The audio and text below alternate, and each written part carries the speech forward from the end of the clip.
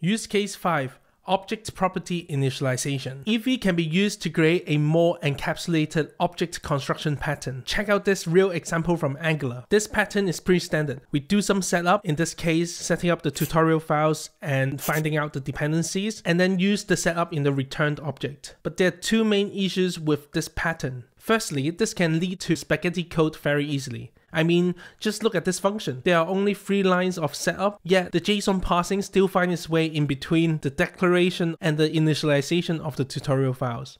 The second problem is that the setup and the property initialization, they are in two completely different places. With IIFE, we can group everything related to a particular property in just one area. So yeah, with this pattern, each property becomes self-contained. I'll be impressed if you manage to find ways to mix up the setup logic. They're in two different functions. How, how are you going to mix things up? Nice.